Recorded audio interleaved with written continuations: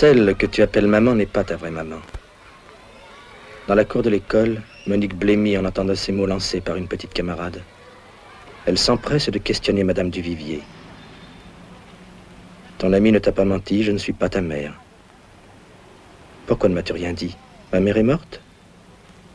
C'est Marie. Elle vient souvent nous rendre visite pour avoir la joie de te parler. Je comprends tout à présent. Aussitôt, Monique se rend chez Marie.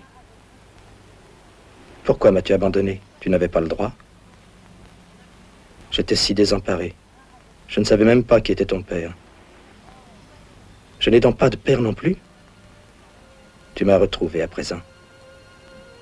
Non, plus rien ne sera pareil à présent. Désespéré, Monique part chercher l'oubli à Bordeaux. Jouir et dominer, tels vont être à présent les objectifs principaux de Monique. Avide de satisfaire tous ses appétits, Monique ne tarda pas à collectionner les amants. Ils étaient à portée de la main. C'est arrivé la première fois durant une nuit de garde à l'hôpital. Vers deux heures du matin, un malade, un jeune homme, l'appelle. Il demande un somnifère.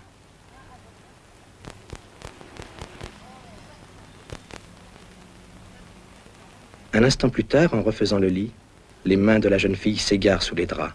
À plusieurs reprises, elle frôle le ventre du jeune homme. Ses caresses se font plus précises dès qu'elle constate que ses approches ne sont nullement indifférentes au malade. Bientôt, oubliant toute prudence, elle grimpe sur le lit. Sous sa blouse blanche, elle est nue. L'étreinte est rapide, sans un cri.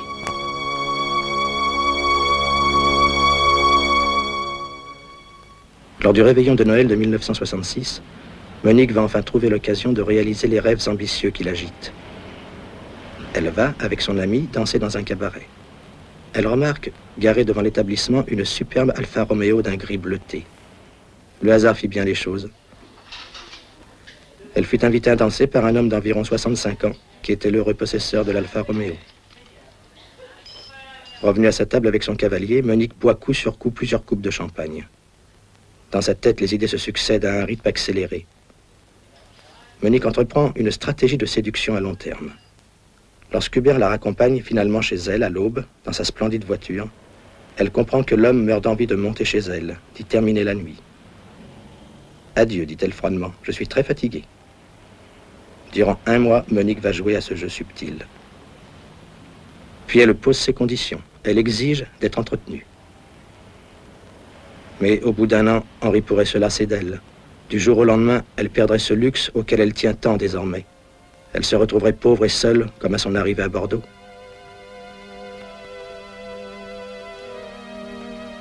Chaque soir, Monique racole. Le cercle vicieux des étreintes éphémères et de l'argent vite acquis l'enserre désormais irréversiblement. Mais personne ne sait pourquoi Monique, la prostituée, à la voix froide et sèche, a parfois dans les yeux une lueur triste et lasse venue du plus profond de son passé. La révélation de ses origines avait provoqué en elle un désir confus de vengeance.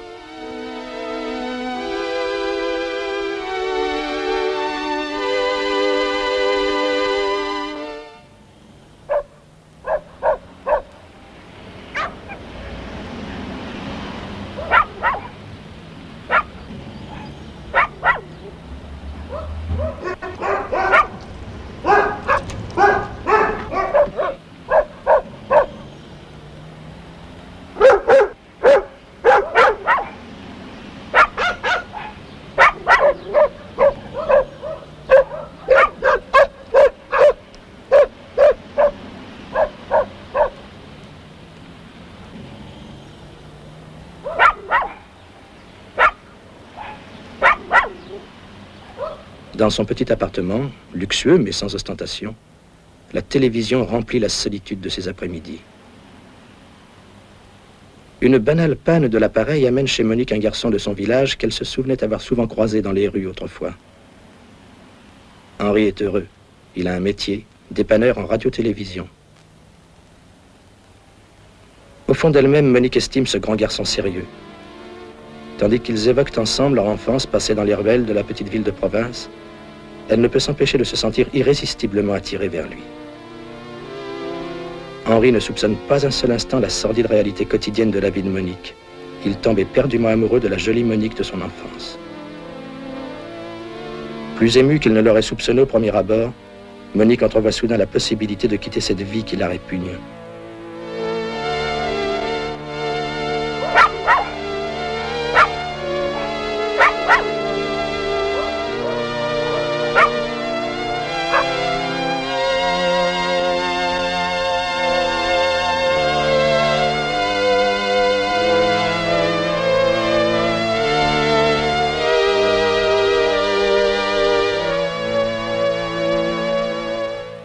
À la tête d'un petit capital qu'elle a économisé grâce à son travail acharné, elle a la possibilité de réaliser un vieux rêve, la gérance du café Jolimont. C'est en quelque sorte un placement sur sa mort que Monique fait ce jour-là. Henri la soutient, la conseille. Lorsque le jeune couple inaugure le Jolimont, il l'épaule dans sa tâche. Elle est estimée et aimée dans toute la région. Alice, une amie de Bordeaux, vient la relancer au Jolimont. Elle connaît tout du triste passé de Monique. Alice ne demande pas grand-chose pour son silence. Un peu d'argent et un gîte pour quelques jours. Le temps d'échapper à un protecteur trop brutal. Monique cède. Tandis qu'ils évoquent le temps passé à Bordeaux, Alice ne peut s'empêcher de se sentir irrésistiblement attirée vers Henri, ce grand garçon sérieux, qui regrette au fond de lui son métier de dépanneur en radio-télévision. Henri ne soupçonne pas un seul instant la sordide réalité quotidienne de la vie d'Alice. Il tombe éperdument amoureux de l'ami intime de sa femme.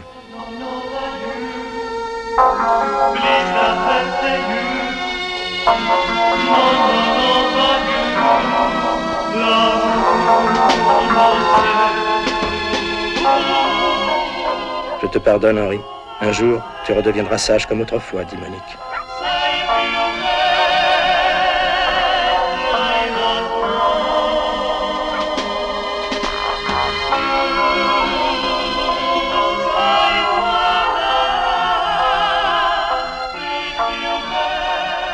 Henri propose un week-end à Troyes dans un parc près de Montsouris.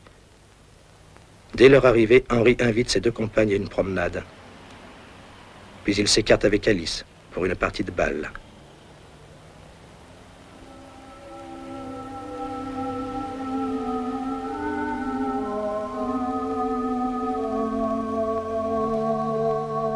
Profondément abattu par les récents événements de sa vie et plongé dans ses pensées, Monique s'éloigne en prenant son fils, Paul-Henri, trois ans et quatre mois, dans ses bras. Je ne serai plus jamais heureuse, dit-elle.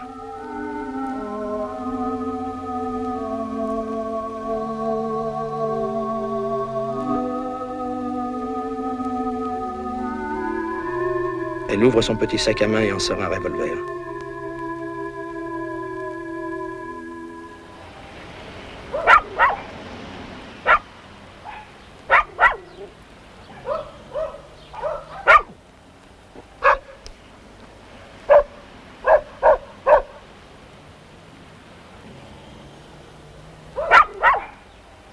Drame se produit soudain.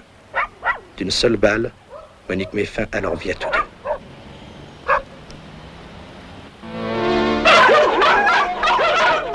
Le temps normal du deuil étant écoulé, Henri ne voit pas d'autre solution que d'épouser cette Alice, l'amie intime de sa femme, qui le domine. C'est en quelque sorte un placement sur sa mort qu'Alice vit ce jour-là. Henri ne s'attendait pas aux terribles révélations qu'Alice, cyniquement, allait lui faire le soir même de ses noces. Monique n'était pas la jeune fille pure qu'il pensait avoir épousée. Alice non plus. Et l'amour qui unissait les deux femmes était contre nature. La terrible révélation provoque chez Henri un désir confus de vengeance. Il traîne le soir, chaque fois plus longtemps, dans les rues de la ville, tandis qu'Alice s'occupe du joli mont. Je te pardonne. Un jour, tu redeviendras sage comme autrefois, dit Alice. En silence, Henri fixe son épouse un long moment. Un voile rouge tombe devant ses yeux.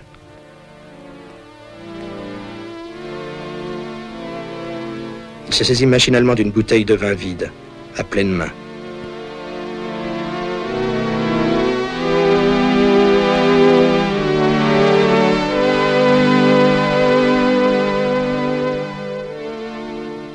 Alice gît maintenant comme une encombrante poupée désarticulée. Que faire, pense Henri Une seule solution, mais qui lui répugne a priori. Découper le cadavre en morceaux, les plus petits possibles, afin de les dissimuler plus facilement.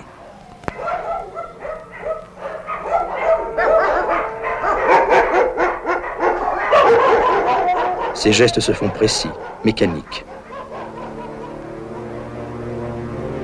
Durant plusieurs jours, Henri s'emploiera à cacher un à un les morceaux du corps le plus loin possible de son domicile au cours de multiples voyages.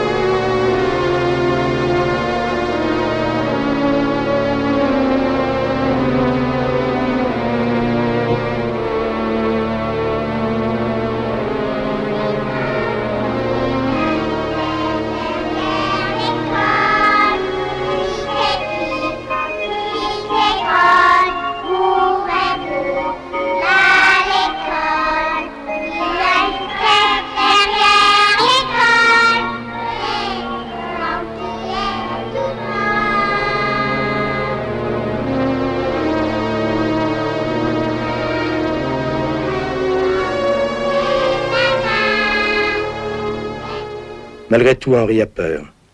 Il voudrait s'enfuir le plus vite possible. À la tête d'un petit capital économisé grâce à leur travail acharné, il part à Marseille, où il s'enfonce peu à peu dans les débauches de la ville portuaire. D'anciennes connaissances lui proposent une affaire douteuse mais sûre. Henri entre dans la combine, mais tout ne va pas comme il l'entendait. Une fois ne suffira pas. C'est plusieurs coups qu'il lui faut monter maintenant. La police est sur ses traces. Henri tombe pour une affaire de peu d'importance. Condamné à cinq ans, il est incarcéré à la prison des Baumettes. Une nuit, vers deux heures du matin, un des jeunes hommes, malade, l'appelle. Il demande un somnifère. Un instant plus tard, est dans le fiévreux à se couvrir. Les mains d'Henri s'égarent sous la couverture. Bientôt, oubliant toute prudence, Henri grimpe sur sa couche. L'étreinte est rapide, sans un cri. Lorsqu'après trois ans, il sort de prison grâce à une remise de peine, c'est un être profondément déchu qui tentera de se refaire une vie d'homme libre. Quelques semaines plus tard, il apprend que des morceaux appartenant à un corps humain ont été trouvés en divers endroits dans la petite ville de Montsouris. Surpris par la quantité de morceaux découverts, le commissaire principal, Maurice José Morer, demande à ses gendarmes de noter sur le plan de la ville les endroits où chaque morceau a été découvert. À la stupéfaction générale, une sorte de cercle macabre se dessine alors sur la carte. Cherchez au centre, s'écrie le commissaire. Le centre du cercle maudit est justement le café Jolimont. Le souci d'ordre qui dominait sa vie avait amené Henri à disposer les morceaux en s'écartant régulièrement du lieu du crime, formant ainsi un cercle. Les lois éternelles de la géométrie s'étaient retournées contre lui.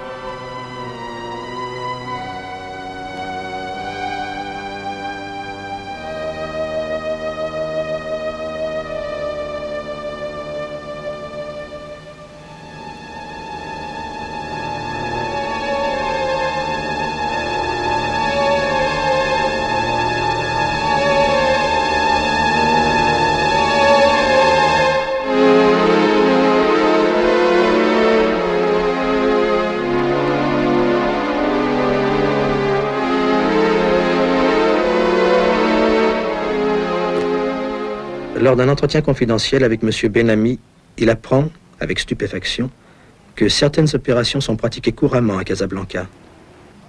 Là, ceux que la nature n'a pas doté d'un sexe précis peuvent choisir définitivement leur sexe. Ce serait pour Henri le déguisement suprême. Qui reconnaîtrait l'homme sous les traits délicieusement féminins de la créature née des mains habiles du célèbre chirurgien allemand? Henri Odile est à présent une ravissante jeune femme. Quelques leçons de maquillage ont parachevé l'œuvre du chirurgien. Lors du réveillon de Noël 1974, Odile va enfin trouver l'occasion de réaliser les rêves ambitieux qui l'agitent. Elle fut invitée par un homme d'environ 65 ans. À table avec son cavalier, Odile boit coup sur coup plusieurs coupes de champagne. Dans sa tête, les idées se succèdent à un rythme accéléré. Odile a entrevu la possibilité de gagner beaucoup d'argent, de vivre enfin dans le luxe et les plaisirs. À présent, chaque soir, Odile racole. Le cercle vicieux des étreintes éphémères et de l'argent vite acquis l'enserre désormais irréversiblement. Mais la nostalgie enserre son cœur dans un étau. Chaque soir, Henri Odile se souvient de ce petit endroit de France où il fut si heureux, la petite ville de Montsouris. Que risque-t-il à y retourner? N'est-il pas désormais la jolie Odile Fargeau, munie de tous les papiers nécessaires et de suffisamment d'argent pour trouver partout le bonheur? À Montsouris, Henri parcourt avec émotion les ruelles de son enfance.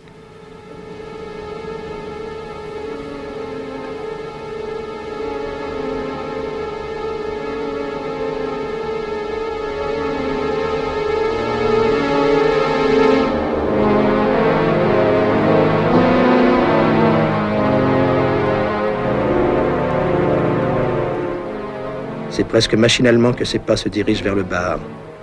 Un écriteau le surprend. À vendre. La tentation est trop forte pour la jolie Odile. C'est un peu comme un vieux rêve. Odile est estimée et aimée dans toute la région. Les jours s'écoulent dans le bonheur. Luigi est orphelin. Ses parents sont décédés dans un accident de voiture. Il vit chez une voisine. Odile adoptera cet enfant malheureux. Elle a les moyens désormais de subvenir aux besoins d'une petite famille. Dans le train-train de ses journées, Odile ferme le bar assez tôt tous les soirs, vers minuit. Pourtant, un soir, non, Fernand, c'est fermé. Derrière la porte vitrée, Odile crie pour se faire comprendre.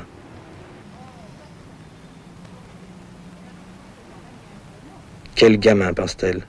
Il paraît à peine ses 18 ans. Elle s'apprête à crier. Il plaque sa main contre sa bouche.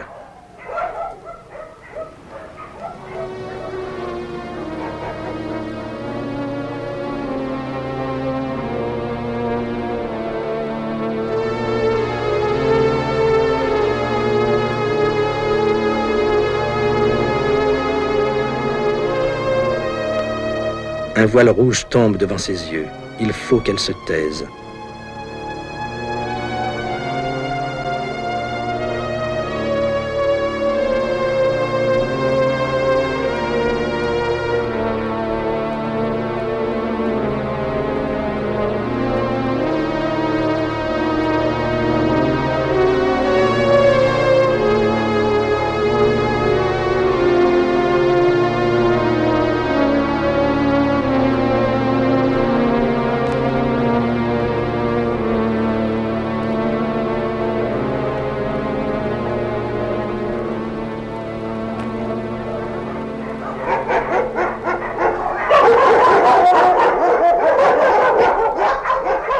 Quelques jours plus tard, dans la cour de l'école, Luigi est pris à partie par ses camarades. Ta mère a été tuée par son amant, dit l'un d'eux. Ce n'est pas vrai. Celle que tu appelles ma mère n'est pas ma vraie mère, répond-il.